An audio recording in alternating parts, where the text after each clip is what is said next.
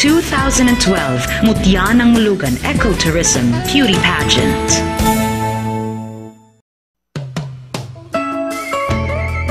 It was in 1948 that Republic Act No. 268 approved the municipality status of El Salvador, with Molugan being the biggest barrio. Molugan has shown faith over the years to El Salvador, even as former municipality of Cagayan de Oro wanted Molugan to become one of its barrios.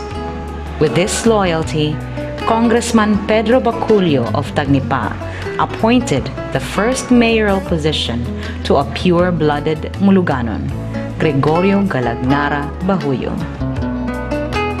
Looking back, it can be said that Molugan played a great role in establishing what is now the city of El Salvador. Molugan, a doorway to the city of industries. It is one of the biggest developed barrios of El Salvador City. It is approximately 30 minutes or 12 kilometers west of Cagayan de Oro City.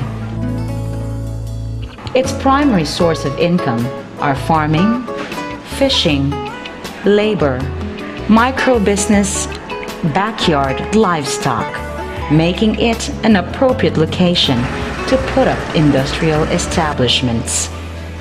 It is home to big names in the industry like Union Plywood Corporation, TIPI Wood Products, Extract Sales, Tomawis Bodega, Aldrin Deep Sea Fishing, Han Am Philippines Corporation, and Savisco. Every 25th of July, we celebrate the Feast of St. James. One of the unique historical facts is that Molugan has its own patron saint, St. James the Apostle. This was established by early Spanish settlers in 1587 when they constructed and founded the Roman Catholic Church, placing an ivory icon of St. James in the heart of its nave, which especially came from Spain. Today, Barangay Molugan is led by the dynamic barangay chairman, Honorable Virgilio L. Cumba Sr., who has realized various projects for education, socio-economic, infrastructure, sports, and has made possible the construction of the new Barangay Hall of Molugan. Molugan is envisioned as a booming and progressive community, which all investors foresee as an ideal place to invest. And for migrants and Moluganons alike, Molugan is a place that can be called home.